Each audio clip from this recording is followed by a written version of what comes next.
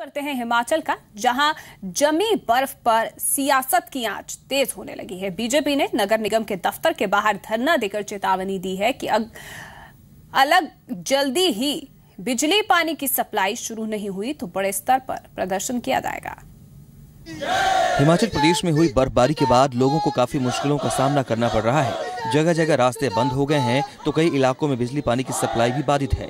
अब इस जमी हुई बर्फ़ पर सियासत का अलाव जलाने की कोशिशें भी तेज होने लगी हैं। बीजेपी ने इसके खिलाफ प्रदर्शन शुरू कर दिया है।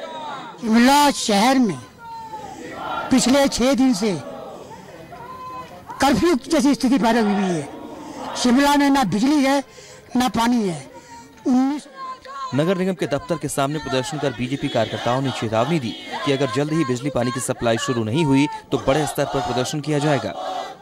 हम भारतीय जनता पार्टी आज जो विशाल प्रदर्शन कर रही है, वो कह रहे हैं, हम कह रहे हैं कि अगर आपने दो दिन के अंदर ये शिमला पे बिजली, पानी की समस्या का समाधान नहीं किया तो हम जो और उग्र प्रदर्शन करेंगे। हिमाचल प्रदेश में ठंडी बर्फ़ पर सियासत गरमाने लगी है। साल भी चुनावी है। ऐसे में इसकी आँच और तेज होने के आसार हैं। लेकिन सरकार और प्रशासन का दावा है कि हालात सामान्य करने की कोशिशें लगातार जारी हैं। ब्यूरो रिपोर्ट जीटिया शिमला।